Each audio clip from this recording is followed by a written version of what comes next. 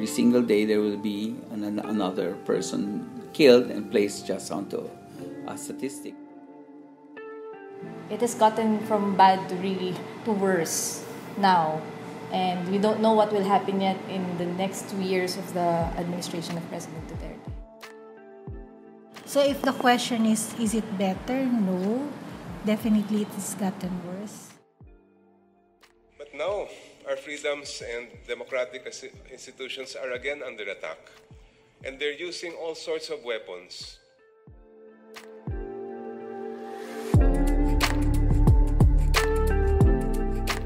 Hello and welcome to our new podcast channel, Advocate by ASEAN Parliamentarians for Human Rights, or APHR. This is a four part series, Parliamentarians at Risk. I'm Oliver Slow. In this episode, we're looking at the Philippines and the tactics used by President Rodrigo Duterte to undermine the political opposition and strengthen his hold on power. Under his watch, the government has used trumped up lawsuits and other forms of harassment to deliberately target opposition lawmakers, the media, and human rights activists, particularly those who have criticised his notorious war on drugs. This series, part of a wider research project by APHR, aims to draw attention to the scale and consequences of the human rights violations faced by MPs in the region and their impacts on democracy and society as a whole. These reprisals come in the form of, among others, judicial harassment, surveillance, and being arbitrarily stripped of their parliamentary status. APHR's new report on this important topic, Parliamentarians at Risk Reprisals Against Opposition MPs in Southeast Asia, is available on our website, aseanmp.org.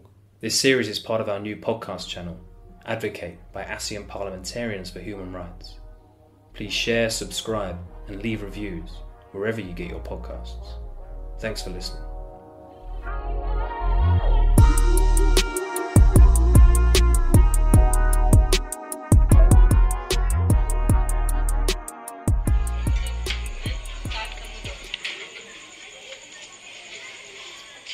On the night of 16 August 2017, Kian de los Santos was shot dead by police in his neighborhood in Caloocan, in the sprawling northern outskirts of the Philippines capital, Manila.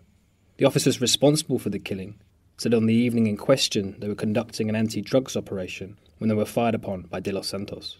However, eyewitness accounts and CCTV footage show what really happened. De Los Santos was grabbed outside his home and dragged through several alleyways and eventually into a dead end corner. There, police handed him a gun and told him to run before shooting him dead. He was 17 years old. In November 2018, three police officers were found guilty of lying about their testimony and murdering De Los Santos. All were sentenced to between 20 and 40 years in prison. The killing of Kian de los Santos has been one of the most high profile incidents in President Rodrigo Duterte's notorious war on drugs, and drew significant criticism from many of the country's citizens.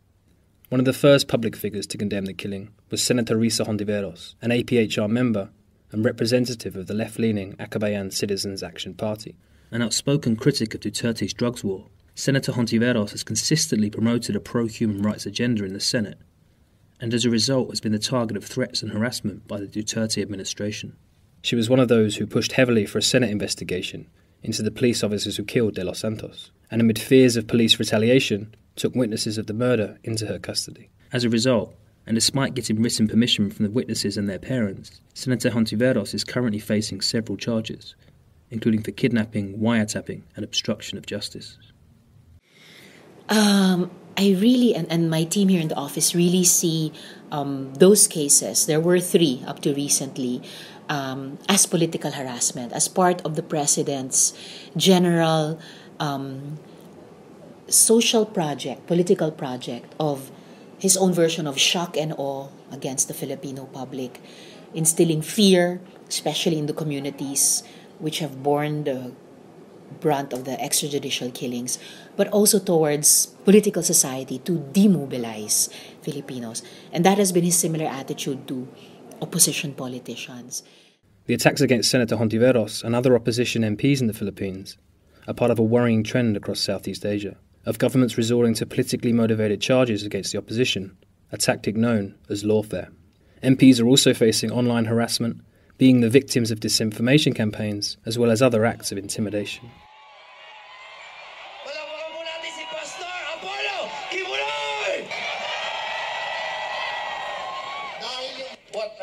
In a general election held in May 2016, Rodrigo Duterte was voted in as the new president of the Philippines. Previously the mayor of Mindanao, a cluster of islands in the country's south, Duterte had proved a controversial figure in the build up to the vote.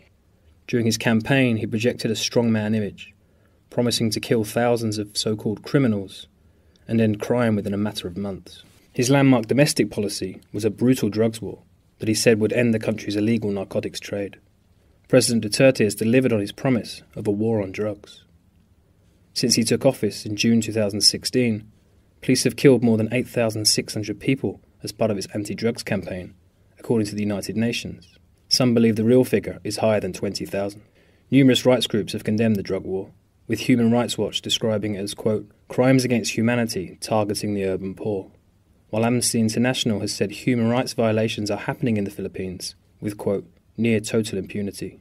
As well as international condemnation, Duterte has also faced criticism at home for his war on drugs. Attorney Maria Sol Taule from the human rights group Karapatan said that her organization had documented human rights abuses against sectors of the peasants, indigenous peoples, workers, youth, and all others, uh, precisely because the government has been making many oppressive measures targeting dissenters, activists, and human rights defenders. So most of our um, human rights workers on the ground, as what I uh, said earlier, have already been in jail or are facing many trumped up cases. And some of them have been killed already in the line of duty. So I could say that um, it has gotten from bad to really to worse now.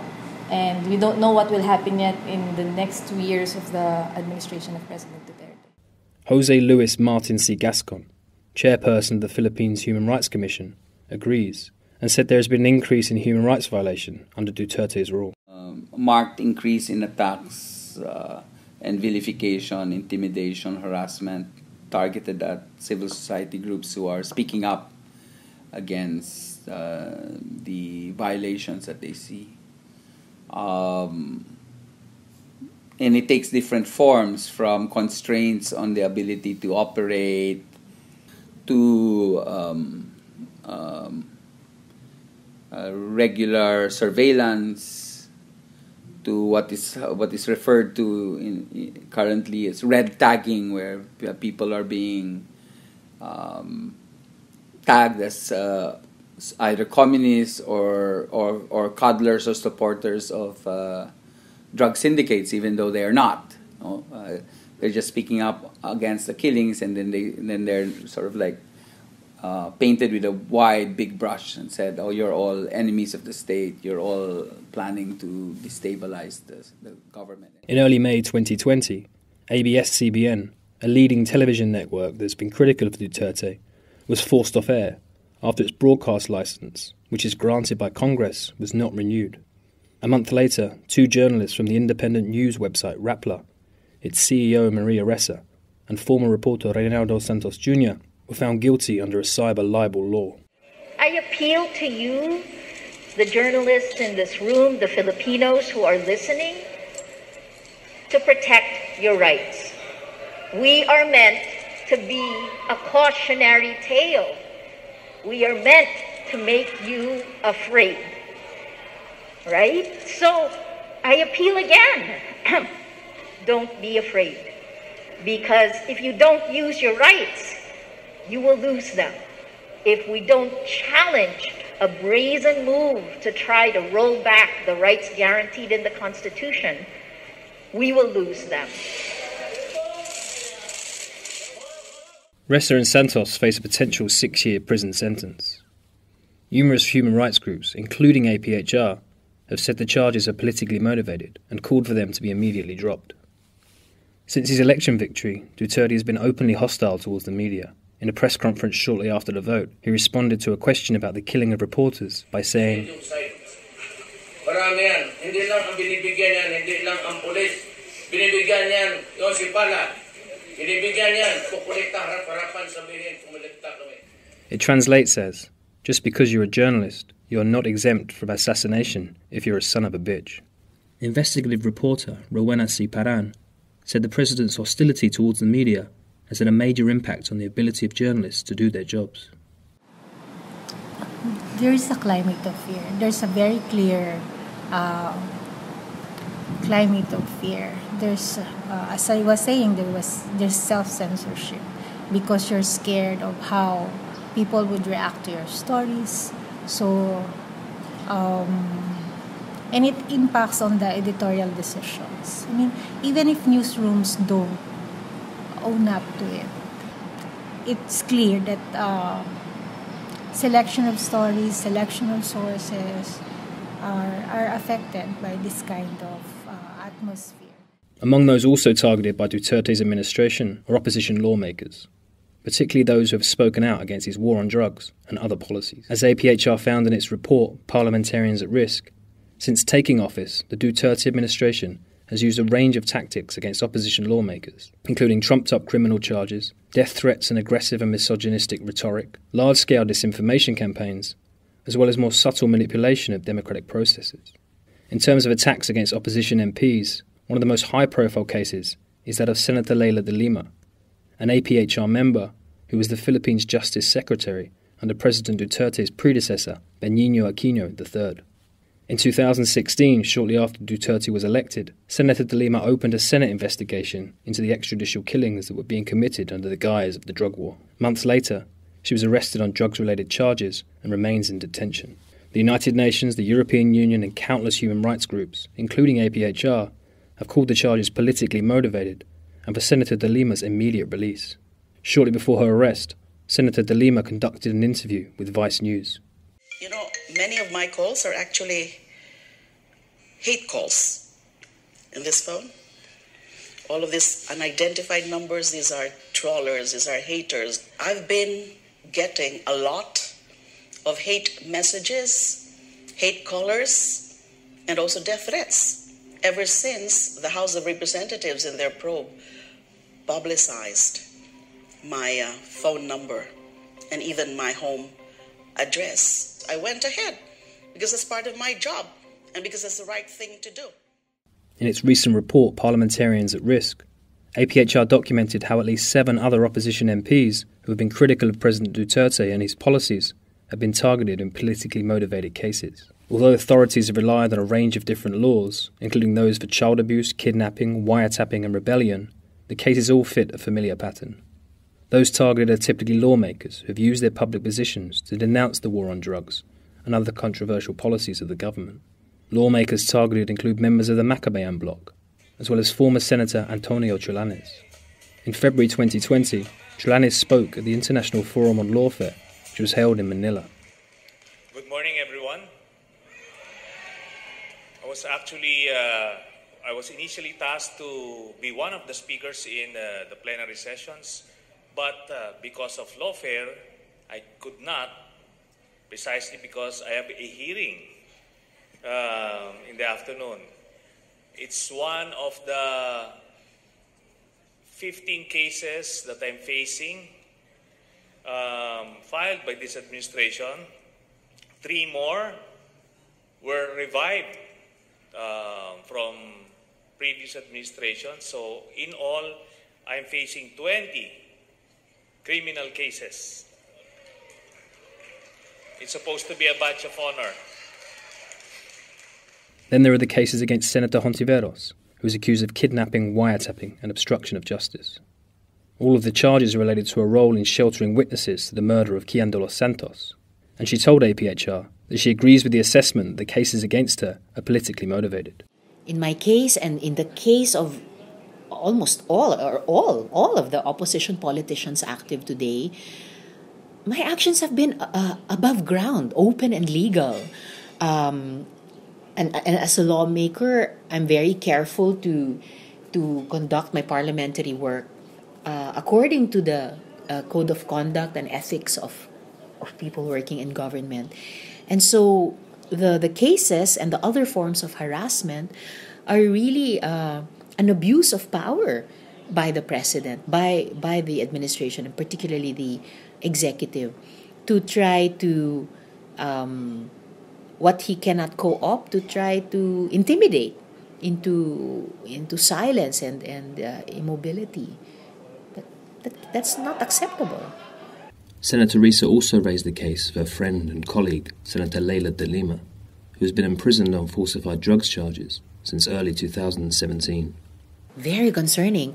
Um, Senator Leila, after that relentless campaign uh, from the president's, well, bully pulpit in Malacanang Palace to his social media uh, army of trolls and fake news, organized and funded and content generated by the administration uh, against her, he has been able to keep her in illegal detention for uh, three years now, this month, with no solid charges against her, no uh, evidence that is acceptable in court because merely collected from convicted uh, drug convicts.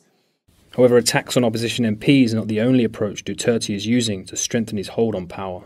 Aggressive rhetoric is one. His administration has resorted to open threats and unsubstantiated claims to intimidate and delegitimize opponents. Duterte has threatened to jail lawmakers who vote against him, while his government has also released public lists of those, including lawmakers, supposedly plotting to bring down the government or engaging in the drugs trade. Much of his rhetoric has been deeply misogynistic. Boracay Island is just the beginning. And the girls there, the foreigners, are waiting for you, gentlemen, to visit the place. They are all on the beach uh, sunbathing. Uh, you are uh, invited to, I have not been there. You know what? There was this three day no water. I was in Davao. So everybody was complaining. And uh, I was even afraid to come here because what if my girlfriend will not be able to to take a bath? Uh, she will smell like hell. So said. Uh, Opposition MPs in the Philippines have also been red tagged, where they're accused of being communists or communist sympathizers and portrayed as threats to national security. Red tagging in the Philippines is not a mere threat, however. Some activists and lawyers who have been labelled as such have been physically attacked and killed. This aggression can be a witness in the online sphere too, with government opponents often the targets of abuse or disinformation by a litany of pro Duterte websites and social media accounts. During the 2016 electoral campaign, Duterte's online supporters, dubbed Dutertrolls, gained infamy by zealously promoting their candidate while aggressively harassing and threatening opponents, often with violence. In September 2020, Facebook shut down more than 100 fake accounts linked to the police and the military in the Philippines for engaging in, quote, coordinated inauthentic behavior. The social media company said that most of the content in the fake accounts was related to criticism of the opposition, activists, and alleged communists. Then there have been the more subtle tactics to manipulate or abuse democratic processes in Congress in order to undermine the opposition. In 2016, APHR's executive director and former Philippine MP Teddy Baguilat Jr ran in the vote for the Speaker of the House of Representatives, losing out to Pantaleon Alvarez, a member of PDP Laban, of which President Duterte is chairperson. Since the country's return to democracy in 1986, following years of martial law under dictator Ferdinand Marcos, the runner up in the Speaker vote has been made the leader of the minority, a crucial check and balance in Parliament. However, shortly after the vote for Speaker, the majority leader announced a reinterpretation of House rules, calling for a second vote to elect the minority leader. The vote was won by Danilo Suarez, a Duterte ally. Critics of the move have called it a deliberate manipulation of House rules to ensure a minority representative that is in fact supportive of the government. There have been other subtle moves by the Duterte regime to undermine democracy, including by manipulating the budget. His government has sharply reduced budget allocations to punish lawmakers that oppose its agenda. In December 2017, Pantaleon Alvarez, the Speaker, announced that the infrastructure allocations for 24 lawmakers all of whom had opposed the reintroduction of the death penalty and other major state policies, would be removed from the 2018 budget. Teddy Baguilat Jr. was one of those targeted. As punishment for voting against the reimposition of the death penalty and the invocation of martial law in Mindanao. Nothing for maintenance of roads and highways in my constituent. So even uh, because the Philippines is prone to a lot of disasters, so even disaster mitigating measures there was no allocation. It was a punishment supposedly for us uh, in, in the opposition, particularly those who voted uh, against uh, the reimposition of uh, the death penalty. But uh, in effect, it actually punished our constituents, our people, our taxpayers. At the time, Baguilat was representative for Ifugao, a remote and undeveloped part of the northern Philippines. The budget actually is, for many politicians, it's your lifeblood. Nobody, unfortunately, nobody really questions your legislative record or how you voted for or against uh, this bill. No, it's it's really about uh, the the money that you bring home for the roads, for their uh, uh, government centers, no, for the scholarship, for the hospitals and clinics. Baguilat said that he believed it was largely because of the slashing of his constituency budget that he lost the 2019 vote to become the Ifugao governor.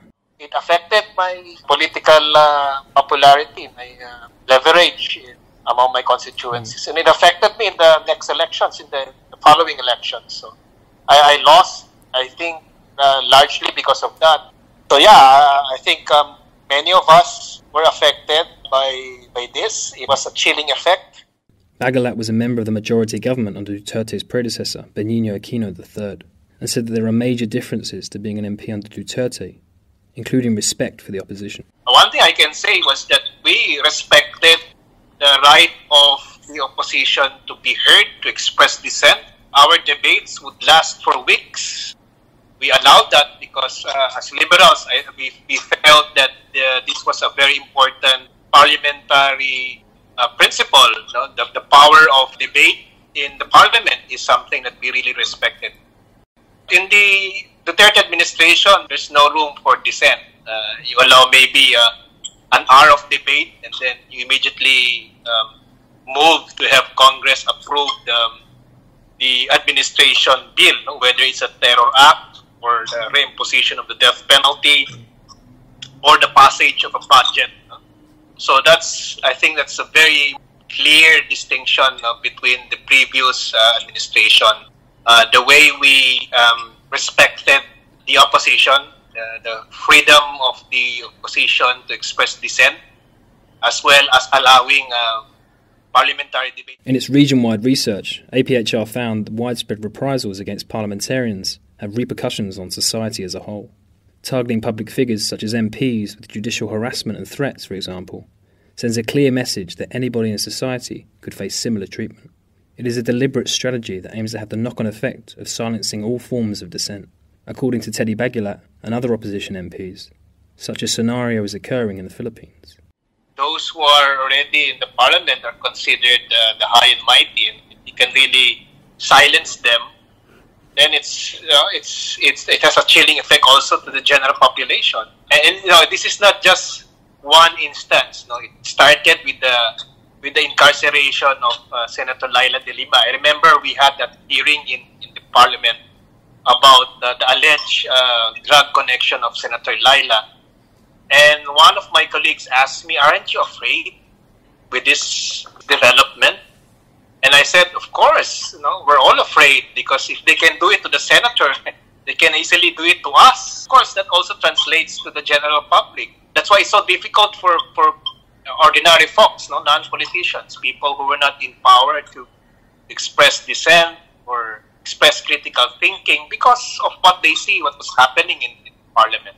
With what happened to us, with what happened to Senator Leila or Senator Trillanes. Despite the huge challenges being faced by opposition MPs, civil society, and human rights defenders in the Philippines, those working for democracy and human rights inside the country have called for continued support from the international community. Baguilat said, uh, What we have right now in the Philippines is we're a rubber stamp and and for me, I think parliamentarians all over the world should should unite and make sure that that privilege of being able to do oversight on the executive, to be able to provide checks and balance, to have a healthy debate within the parliament is is respected.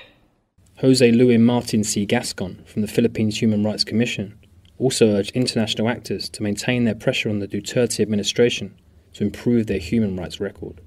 To know that there is international solidarity, to know that there is attention to what's happening in this country, even when many are now looking away, is important to us.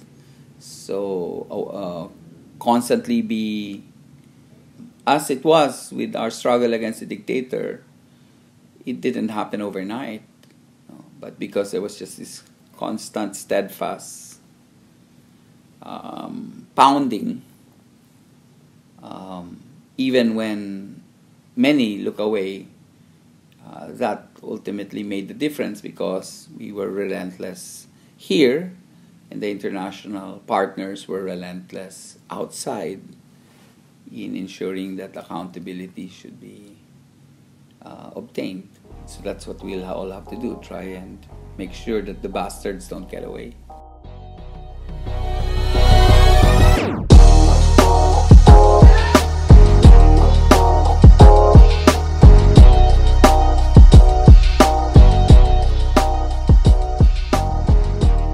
This episode of APHR's Parliamentarians at Risk podcast series was written and produced by me, Oliver Slow, with editorial input from Elise T.A. Daguset and Long Tsu Quinn. APHR's work is supported by the Swedish International Development Cooperation Agency, or SIDA, the Norwegian Ministry of Foreign Affairs, and the Open Societies Foundation. For more information about APHR's work, please visit our website, aseanmp.org. This series is from our new podcast channel, Advocate, by ASEAN Parliamentarians for Human Rights. Please share, subscribe, and leave reviews wherever you get your podcast. The final episode in this series will be available on October the 21st. Thanks for listening.